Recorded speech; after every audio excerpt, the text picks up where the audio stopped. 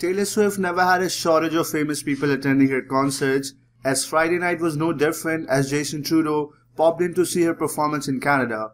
The Canadian Prime Minister showed up at the Rogers Centre in Toronto, where Taylor took to the stage for one of her customary hours-long sold-out shows, and did we also mention that it was amazing?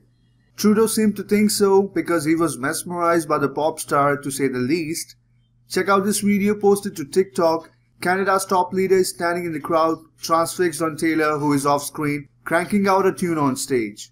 You can see Trudeau grooving to the music and putting his dance moves on full display with plenty of hand gestures. Who knew Trudeau was such a Swiftie? Meanwhile, Friday's concert was significant because it marked one of the Taylor's last show of her historic Eras tour. Taylor only has four shows left with the final gig taking place in Vancouver, Canada on December 8th. Get your tickets now people, if any are left.